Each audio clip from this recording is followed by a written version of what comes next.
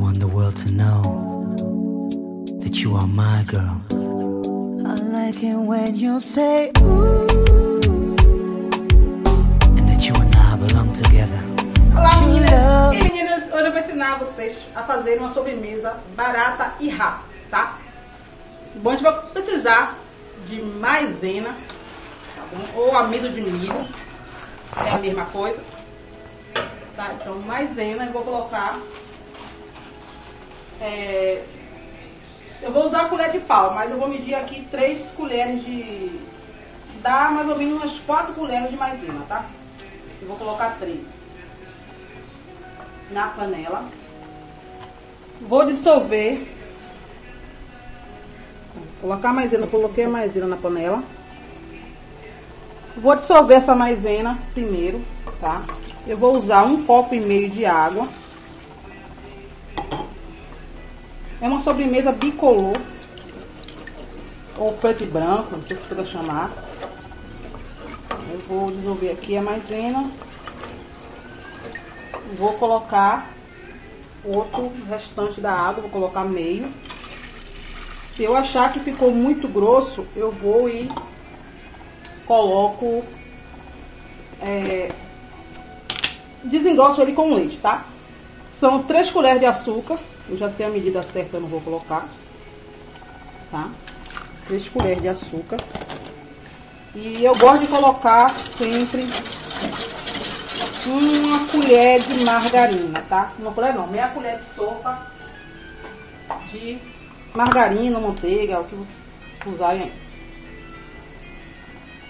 Bora, sai. E vou ligar agora o fogo. Vocês vão fazer aqui, nessa primeira etapa, como se fosse um mingau normal. Ah, já esquecendo, eu coloco um pouco de creme de leite condensado também. Antes que eu esqueça, mais ou menos umas meia caixinha de leite condensado, tá? Tá zoada é da caixa, tá? Não sou eu não. Então, meia caixinha. Então aqui vocês vão esperar engrossar como se fosse mingau mesmo, tá? E quando estiver no ponto para eu desligar o fogo, eu volto para dar com tá, quase que não sai. Sequência vídeo. Eita! Então daqui a alguns minutinhos. A engrossar, tá bom? Então vamos lá. Começou a engrossar.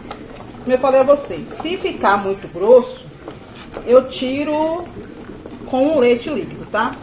Eu vou mexer mais um pouquinho aqui para poder cozinhar mais a farinha. Eu vou fazer um mingau, mas um mingau não muito desse leite aí. E vamos lá colocar o leite líquido. O leite líquido é, é no máximo um copo, tá, de leite líquido ou uma xícara. Se vocês acharem que ficar, ficou muito grosso ainda, vocês colocam mais. Vou misturar aqui.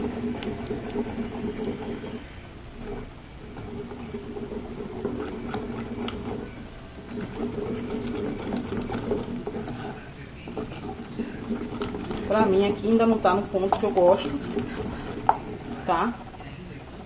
Ainda não tá no ponto que eu gosto aqui ainda. Eu vou colocar mais um pouquinho. Eu bati o pé no, no fogão. Mais um pouquinho de leite. Vou mexer.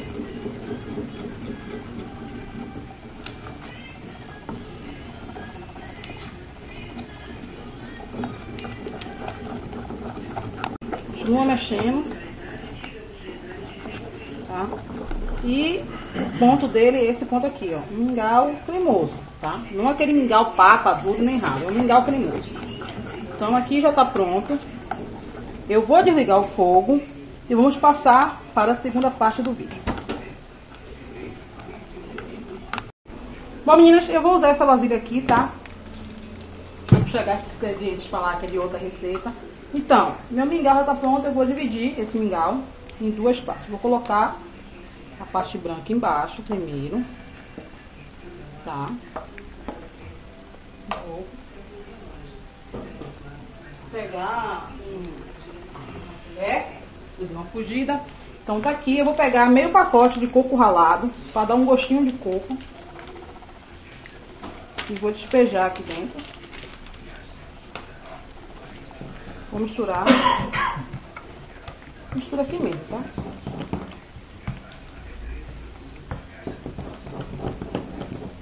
Já sobe um cheirinho de, de coco. Tá? Fez isso.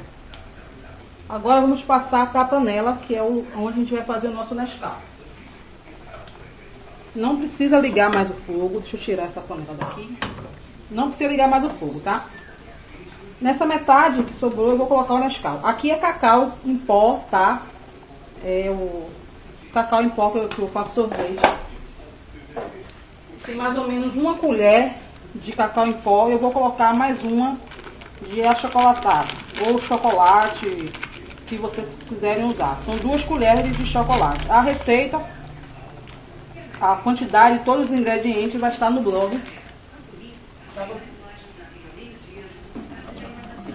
Então, a gente mistura aqui. Eu gosto de fazer com o cacau porque fica mais amargo e fica tão doce assim. Melhor do que fazer com chocolatado.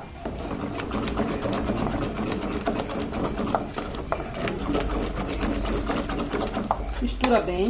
E é bom você misturar com um mingau mais quente. Mingau quente. Que ele sobe mais rápido o chocolate. Mistura bem. E agora a gente vai colocar lá no nosso, em cima do nosso branco.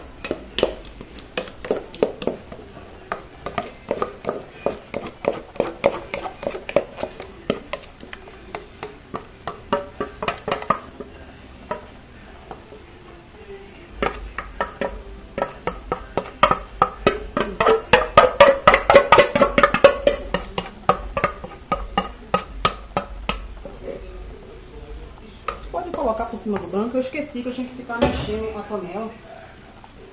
E ele meio que se misturou aqui dentro. Não vai ficar bem um bicolor.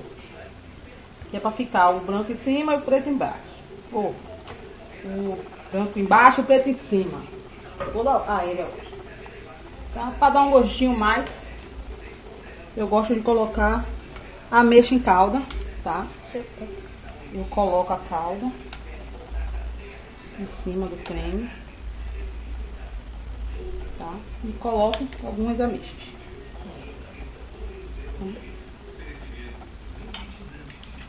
E aqui vai para geladeira por mais ou menos duas a três horas. Sobremesa bem rápida e barata, tá? Vai para geladeira. Assim que ele engrossar um pouquinho da engrossada básica, vocês já podem servir, né? Tal. Então, tá aqui o nosso creme, tá? O nosso preto e branco. E eu vou levar na geladeira. Dá pra ficar o branco embaixo, o preto em cima ficou no meio, vai ficar legal. Tá bom? Duas na geladeira. E essa é a nossa sobremesa da Lili, que eu gosto muito de fazer. Até o próximo vídeo. Passamos e agora vamos para a sobremesa. Creme, ou bicolor, ou preto e branco, como vocês quiserem chamar. E eu vou cortar o meu creme, tá geladinho. Tá? Cheio de calda de etcha. Cheio de calda de como é? ameixa. Tá? Tá bom. Ó, tá. Chega faz o edinho, ó. Ele ficou assim, ó. Eca. Podem botar o branco embaixo, o branco em cima. Feito o que vocês quiserem. Eu gosto muito da caldinha, tá?